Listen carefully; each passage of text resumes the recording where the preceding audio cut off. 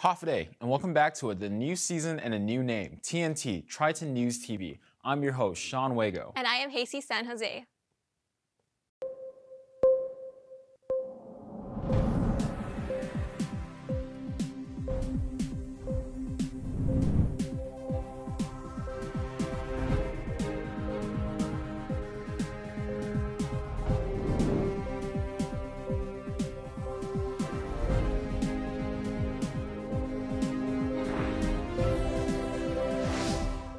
In today's episode, we'll be giving you the inside scoop of Guam's current status on tourism.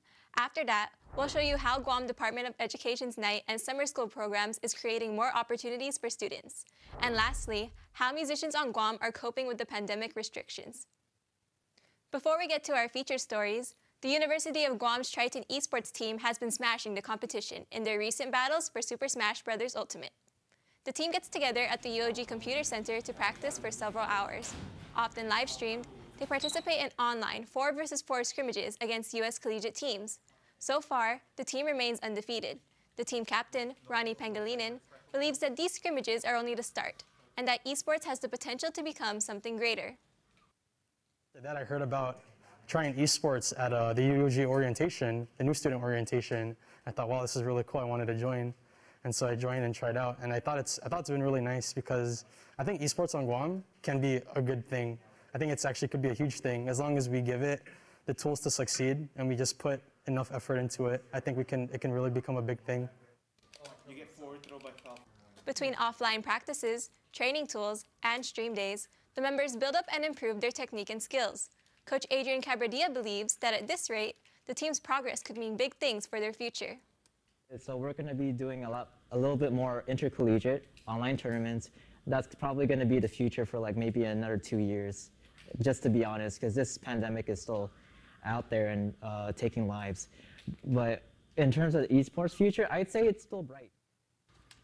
Although the COVID 19 pandemic has closed off many opportunities last year, esports has found its own and is perhaps here to stay.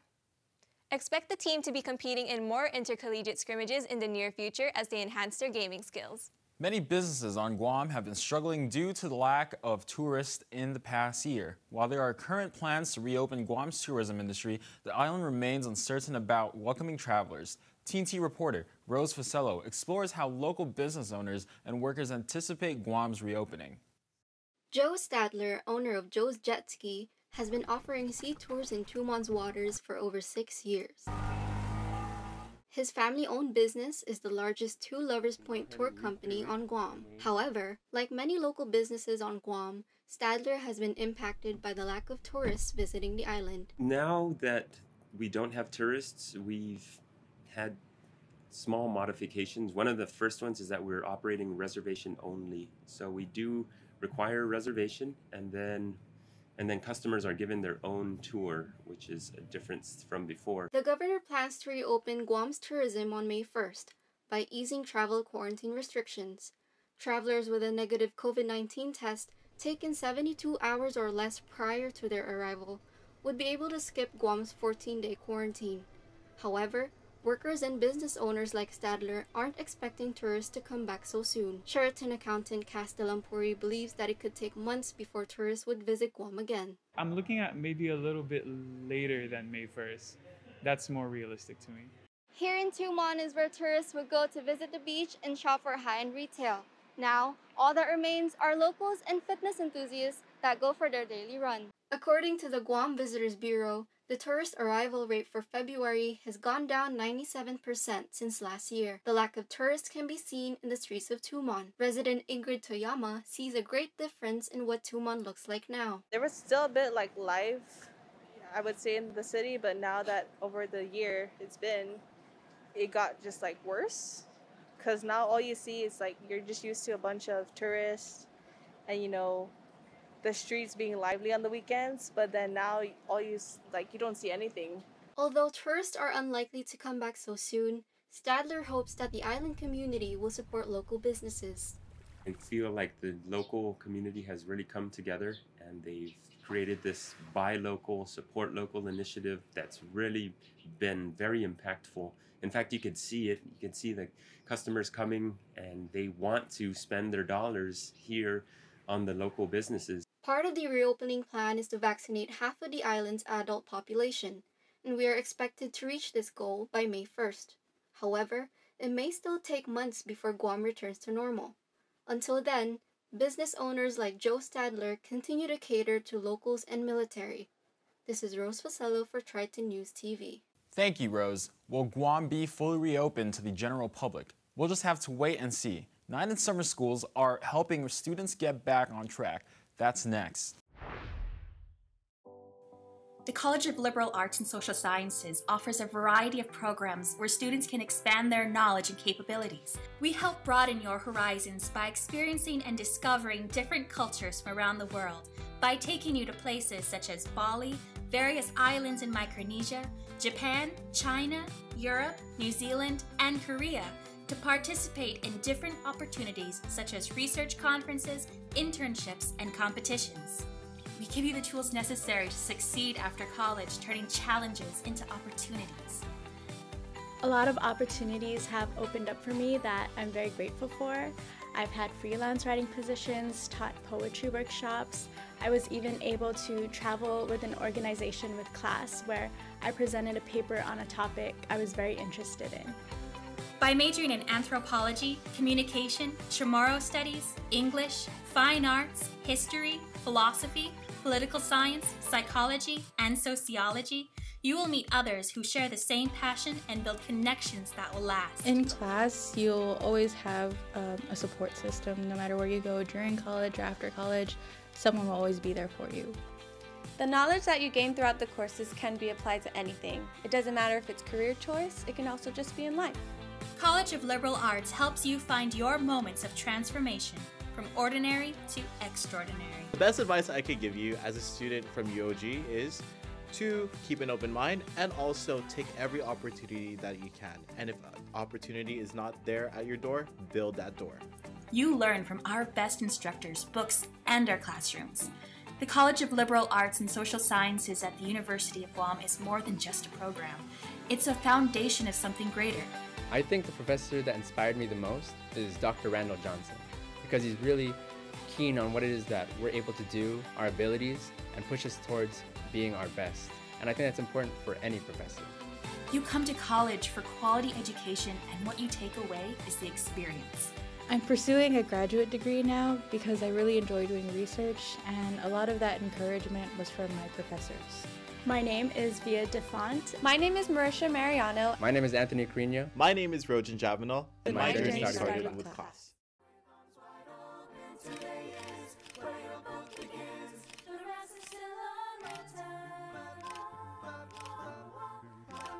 We help you write your story, and it's up to you to finish the rest. Register today and begin writing your future.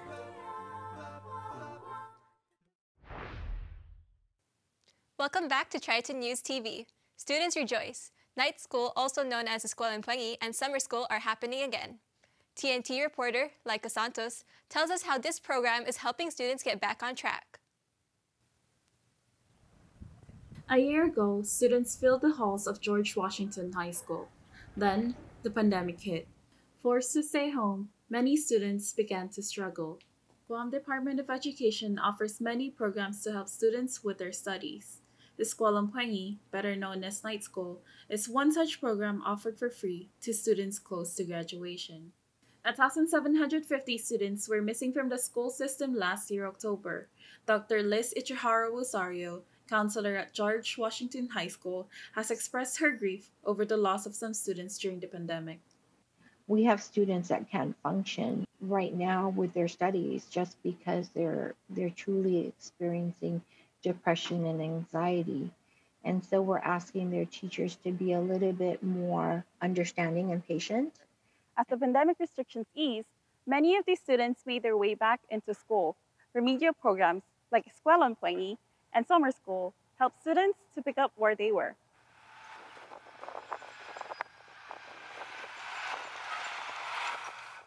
This semester, we're doing one credit, and this summer um, is going to be pretty amazing because this summer we're going to be offering our students two credits, and that's the first time it's ever been offered.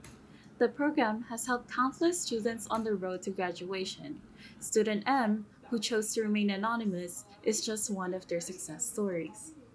So I had the options of either um, retaking the course, the courses um, in the following year, which would essentially push me back, um, push back my graduation date, or I can go to Eskuelan Puengi and use that as an opportunity to remake those credits and still graduate with the rest of my class. Escuela Puengi program coordinator Felix Chaco embraces the changes in the program that is transitioning to online learning and hybrid classes.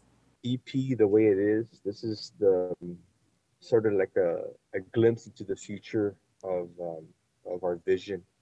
You know, our, especially our vision from our deputy uh, superintendent uh, Sanchez. You know, tr- for a true alternative school where um, teachers can teach online. For Dr. Ichihara Rosario, all changes and challenges are worth it if it means the kids come back to school safe and sound. I'm happy. I'm happy that they're here. I am Laika Santos for TNT. Thank you, Laika. Eskuelan Puengi will be a combination of online and face-to-face lessons during the six-week session. Interested students should contact their school counselors for information regarding registration and courses offered. Live music struggles to survive on Guam. Over the past year, musicians and local venues alike are hit by the setbacks and continue to adjust as best as they can. TNT reporter Kai Rekdal looks at the issues musicians face on Guam. Joe Guam always preferred to be in front of a live audience, but over the past year, he's had to adjust to online streaming. Many other musicians have struggled to adapt to the new stage, but for Joe Guam, This is the life of a musician right here. streaming was nothing new to him. So I actually started live streaming uh, back in January, February of 2018.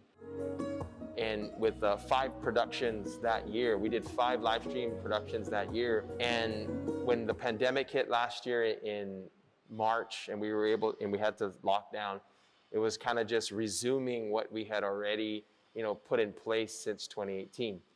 Although places like the Hyatt have been fortunate enough to maintain their status quo, smaller businesses like the Live House have had it rough providing for both their employees and musicians. Thomas Pinehoff is the owner of Livehouse, a bar located in Tumon. He believes that it's mostly small bars and venues that are hurting from the lockdown, and that big venues like the Hyatt continue to make profit off the dire situation. As such, Thomas hosts different musicians to play in his bar in order to keep patrons, thus income, coming to Livehouse. What Livehouse is trying to do, we are trying to get back a sense of normality, uh, which includes uh, the musicians, which are uh, who are vendors of ours, and uh, gig workers. We believe music is important. The, the name Livehouse says it all. Uh, we are open to all kind of music. We live with it. We live from it. You know, and uh, we're trying to create uh, good vibes and um, mental health. Although Thomas and Joe still combat Guam's restrictions related to COVID 19, Fred Berdallo, also known as Freddie from the Four Piece Band, says that chances for live music have been accessible in the US mainland for about a year now. Uh, currently, I'm in Florida, right? And Florida's uh, Florida has been open uh, since July of last year.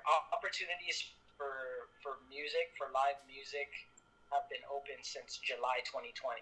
With how difficult it already is to either jumpstart a career in music, own a small business here on Guam, or perform far from home, Joe, Thomas, and Fred all do their best to keep people's spirits up through music, as the COVID 19 related restrictions slowly loosen on Guam. This is Kai Rekdal from TNT. Thank you, Kai. Although everybody has been combating the pandemic for over a year now, it seems that an appreciation for music is still surviving to this day. Local food trucks are bringing their meals closer to the community with Food Truck Grab and Go Wednesdays. In early March, they began welcoming customers to the old carnival grounds in Tiyan. The Barrigada Mayor's Office organized the festival to help food truck businesses that were affected by COVID 19. Ike Evangelista, owner of 671 Kettle Corn, says that the support from the community was a surprise. The first day, uh, we actually ran out of camel for the first time ever. So we weren't prepared for all this, uh, the big crowd.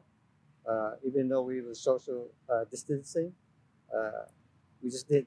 We weren't. We didn't see a big crowd, but to run out of caramel, and caramel was one of our biggest sellers. Uh, that was a, a surprise for us.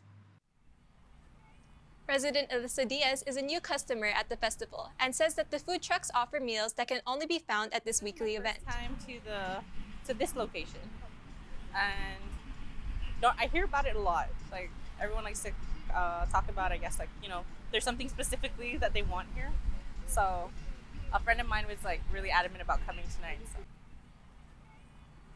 The Food Truck Festival continues to open every Wednesday from 4 p.m. to 9 p.m.